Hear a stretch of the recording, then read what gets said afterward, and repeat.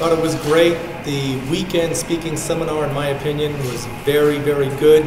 From the vantage point, Darren, I think, did a great job motivating while educating. I got a lot out of this.